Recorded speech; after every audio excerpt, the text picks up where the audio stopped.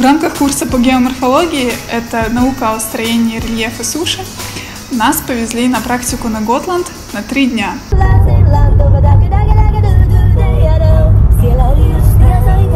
Готланд – это крупнейший шведский остров, находящийся в Балтийском море. Стоит обмолвиться, что на этот курс я записала специально ради того, чтобы поехать на эту экскурсию, практику на Готланд.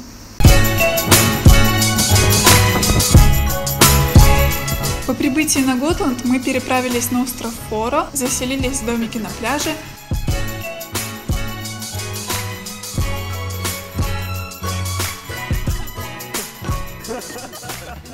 На следующее утро, собственно, началась серьезная часть нашей поездки. Частью домашней работы к полевой практике была подготовка экскурсии по какому-то уникальному природному явлению на Готланде.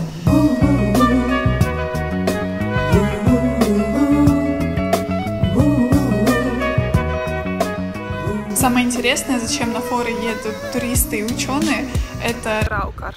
Раукар — это шведское название размытых эрозий скал.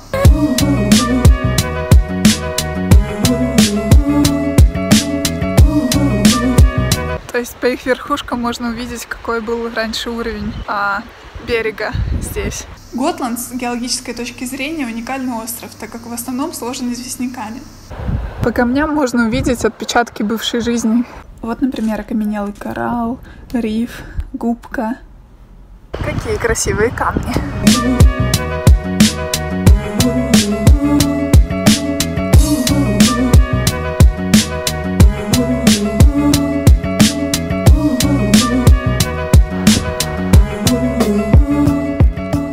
Потом нас разделили на группы со словами «одна группа будет работать на том же пляже, где мы были утром, то есть у скал Раукар, вторая будет работать в воде».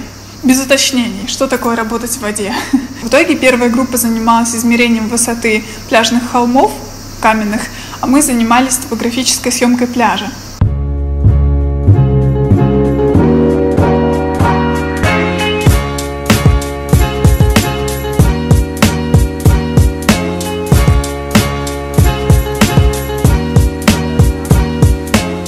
и вечер опять закончился барбекю.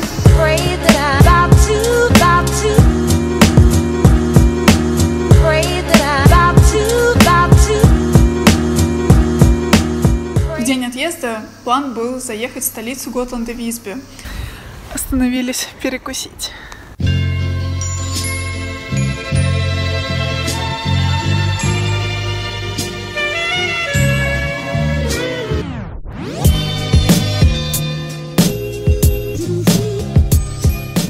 Но нашему профессору пришла гениальная идея, почему бы не заехать на очередной пляж и не сделать 3D-модель скал и острова.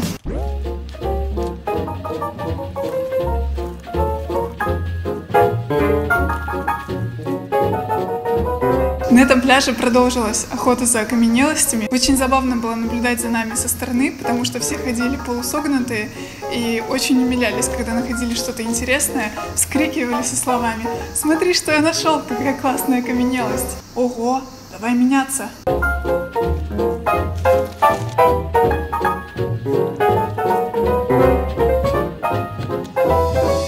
Don't ask me what I've been doing. Watch the whole summer go by.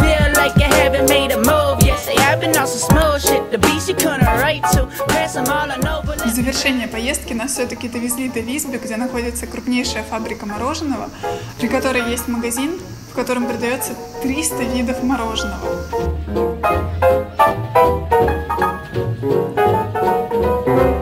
Вкусы странные и классические. Пикачу, Барби, вкус лимона, вкус Редбула, пива. Не знаешь, что и выбрать.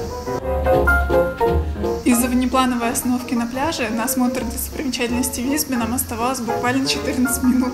В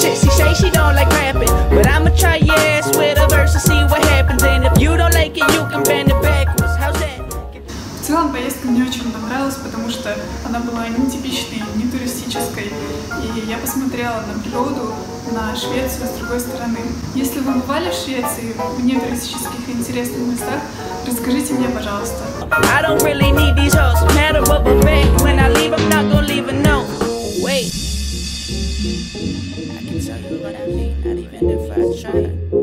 But have you ever seen Christmas time in July?